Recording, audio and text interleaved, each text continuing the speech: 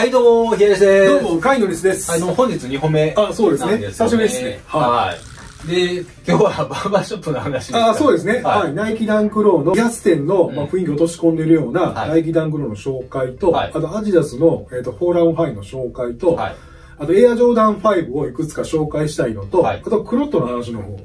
あーリーバイスのコラボの話あそうですねははいい。このチャンネルではスニーカーやファッションに関するリーク情報や最新のニュース情報を動画でお伝えしているチャンネルとなっております。チャンネル登録の望みでない方はこの機会にチャンネル登録のよろしくお願いいたします。はい、お願いします。はい、あの、我々ツイッターとインスタグラムの方をやっておりますので、概要欄の方にリンクのがありますので、気になる方はフォローの方よろしくお願いいたします。ぜひお願いします。はい。はい。で早速なんですけども、はい。まあ、あの、バーバーショップですね。ナイキダンプロのね。はい。以前から、うん。まあ、理髪店の雰囲気を落とし込んでいるような、うん。ナイキダンクローが発売されるんじゃないかとさせてもらってまして、はい。バックのタンブルレザーが使われているものに関しては、うん。まあ、ナイキの公式写真が出てきてまして、は紹介させてもらったんですよね。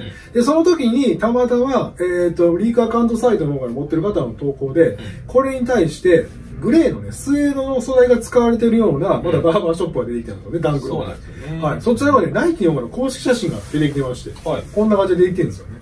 うん。で、まあ、ブラックと相反するような、うん。まあ、素材が違ったりとかするんですけど、まあ、はい。カラーも違いまして、で、まあ、唯一同じところで言うと、ん。えっ、と、シューレースの、まあ、デュブレといいますか、アクセサリーで、まあ、バリカンのね、うん。がついてるようなはい。デザインになってまして、まあ、ゴールドとシルバーに分けられてるんですけど、ん。はい。こちらの方はね、えっ、と、グレーのカラーの方も、ナイキの方の公式写真が出てきてるので、ブラックとこのグレーを2つね、はい。まあ発売される時期は近いんじゃないかっていう情報が出てきたんですけどね。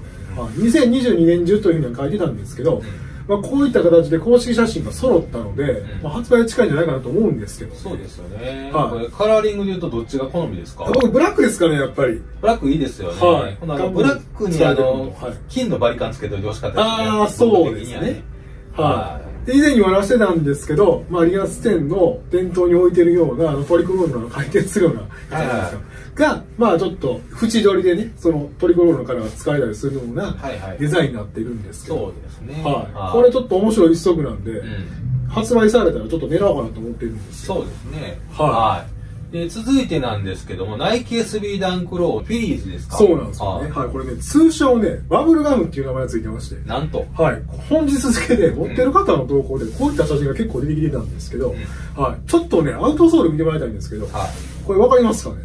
これでもガム踏んでるようにはなってるんですけど、はいペタッと踏んでますね。そうなんですよね。あの、真ん中っていうよりかは、かかと付近で踏んでる感じなんですけど踏、みまくってますよね。そうなんですよ。ちょっとカラーが変わってるんですよね、ピンク色にね。そうですねはい。で、これを元にバブルガムっていう名前ついてるっていうことは、まあ以前発売されたウィメンズエアジョーダン1ハイ OG でバブルガムってあったんですけど、はまあそれを彷彿させるようなデザインのアウトソールになってるんですよね。い。なるほど。はい、ただ、この靴の、えー、とナイキ SB ダンクローの通称に関してはフィリーズっていう名前がついてまして、一応、アルリーカカントサイトはバブルガムって呼んでたのは、多分この、こういったソールだからだと思うんですけど、うんうんはい、こういったナイキ SB ダンクローは今後発売されるんじゃないかということで出てきてましたね。ははい。まあ、えっ、と、水色のカラーにうん、スウッシュが、まあ、バーガンディと言いますか。い。そうです。のカラーが使われているもので、はい。まあ、こういった程度の素材の水色全体のカラーのナイキ SB ダンクローって、結構発売されてますよね。そうです、持ってたりしますよね持ってます、持ってます。はい。は今回これあれなんですよ、あの、シューレースも、えー、3パターンついてるんですね。はいはい。白と、えー、バーガンディと、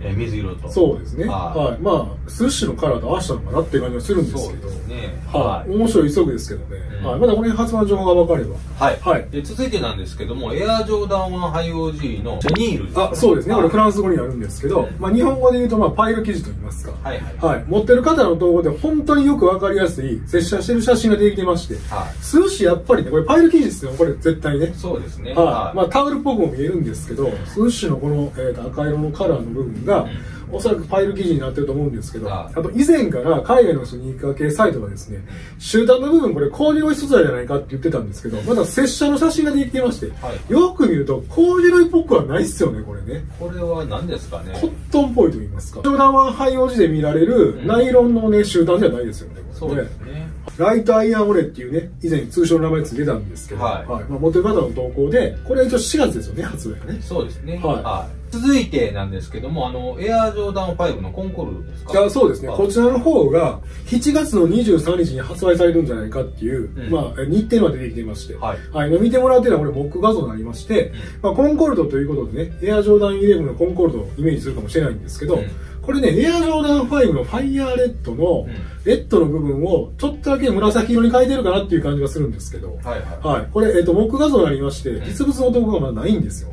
はい。で、今のところ7月の23日じゃないかっていうね、初めて、えっと、日程が出てきたので、はい。おそらく近日中にですね、持ってる方のところが出てくると思うんですけど、うんはい。まだこの辺情報が分かれば。そうですね。はい。で、続いてなんですけども、CPFM とナイキダンクローのコラボの話ですか？ですね、えっと、CPFM とナイキダングローのコラボで、こういったね、ちょっとデザインが変わってるような、まあ、ちょっと土っぽいと言いますか、はいこれテーマはガーデニングじゃないかっていうふうに海外のスニーカー系だと書いてたんですけど、はいまあ、アウトソールの部分だったりとか固形をね、イメージしてるんじゃないかっていう話させてもらってたんですけど、はいはいえっとこの写真とは別で、ディオールのフットデザインディレクターのうん。志望デニスがですね、うん。先ほどインスタグラムのストーリーズに上げてたんですけど、はい。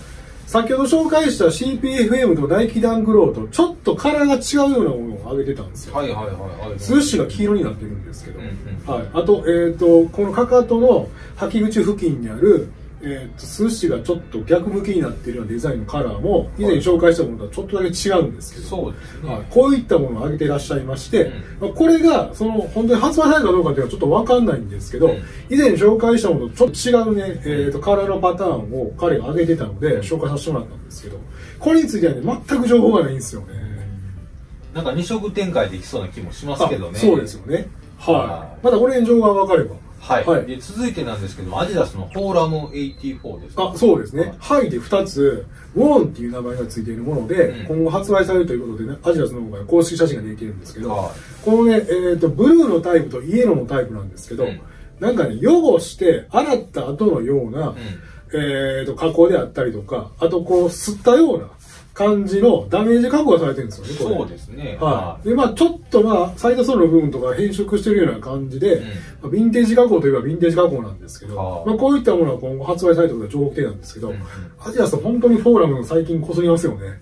そうですよね。はい。ただ僕このブルーの、ホワイトとブルーのカラーのうんタイプちょっといいなと思ったんで、発売されたらちょっと考えようかなと思ってるんですけど。なるほど。はいはい。はい、続いてなんですけれども、あの、クロットとエアジョーダン5ローのコラボあ、そうですね。こちらの方はね、発売日の方が初めてリークで出てきてます。5月の20日って出てきてるんですよね。はいはいはい。で、以前にもさせてもらってたんですけど、うんエアジョーダン5のローで、まあ、サイドの部分にね、うん。まあ23で書いてあったりとか、はあとまあ、シューレースのあたりに、ちょっと、まあ、なんですかね、えっ、と、ビーズが使われているようなね、はデザインになってまして、まあ、ビおしゃれと言いますか、うん。こういうデザインのもので、まあ、ブラックを下にしているもので、これレザーではないんですけど、うん。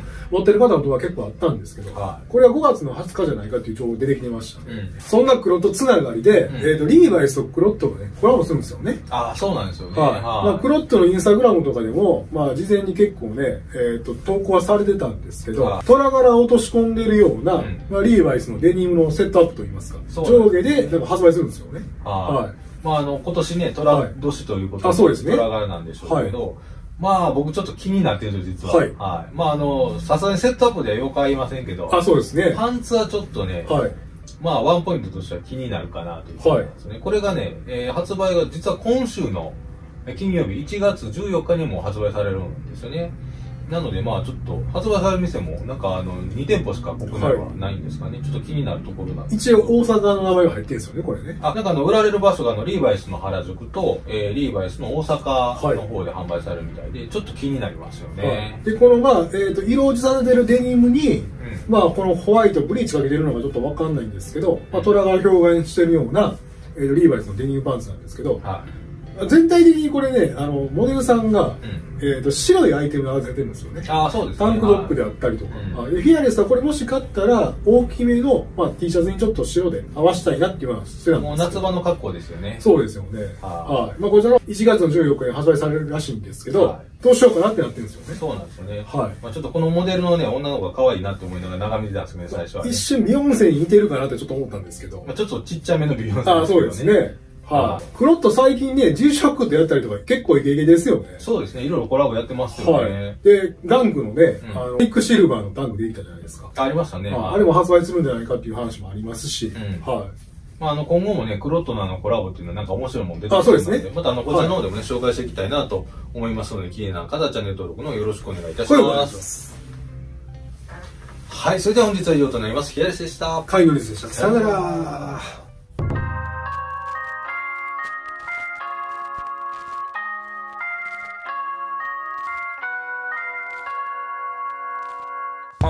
But it's evident.